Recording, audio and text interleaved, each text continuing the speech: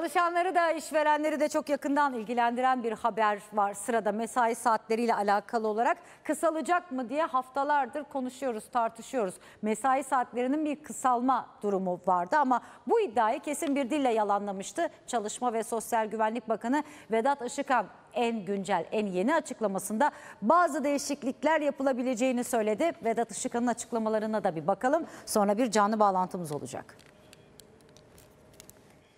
Şu anda Türkiye'de çalışma süresi 2003 tarihli ve halen yürürlükte olan bir iş yasasına göre 45 saat olarak uygulanıyor. Öncelikle bunu bir hatırlamakta fayda var.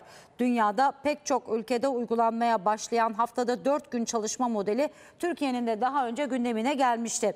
Mesai saatlerinin düşürülmesinin söz konusu olmadığını belirtmişti. Çalışma ve Sosyal Güvenlik e, Bakanı Vedat Işıkhan bu defa farklı ve daha dikkat çeken bir açıklama yaptı. Bakan Işıkhan çalışma süreleri başta olmak üzere ücretler, iş sağlığı ve güvenliği, işçilerin refahı, kadın, çocuk ve gençlerin çalıştırılması, kayıt dışılık gibi konular gündemimizde önemli bir yere sahiptir dedi. Bakan Vedat Işıkhan esnek çalışmanın önünü açacak düzenlemenin ise yolda olduğu mesajını verdi.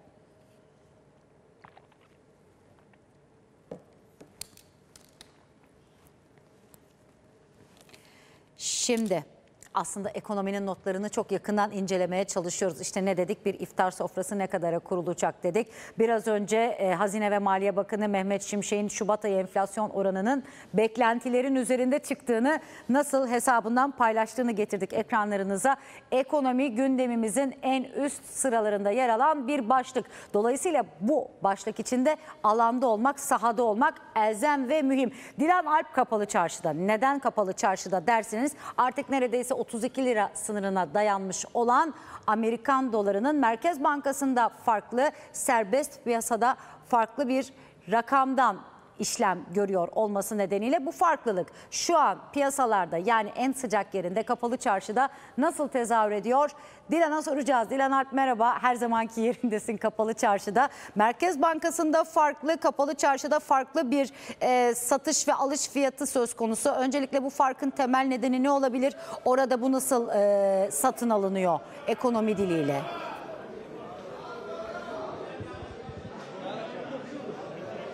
Sinan Fıstıkoğlu şimdi senin de söylediğin gibi Merkez Bankası'nda farklı, bankada farklı, paranın kalbi kapalı çarşıda farklı fiyat var. Şimdi bu ne demek oluyor? Buradakilerin deyimiyle hem döviz bürosuna gelen müşterilerin hem de ayaklı borsadaki e, kişilerin, esnafın söylediği tabirle piyasa allak bullak. Şimdi gösterecek size Agit Ok tabelayı. Burada 32.52'den satışta işlem görüyor. 32.25'te de alışta işlem görüyor dolar. Euro 35.27'de satışta işlem görüyor. Yine alışta da 34.90'dan işlem görüyor bir makas açıklığı. Görüyorsunuz tabii şimdi buradaki dolardaki ateş altını etkiliyor. 24 ayar gram altında alışta 22.68 satışta da e, e, 2314 düzeltiyorum.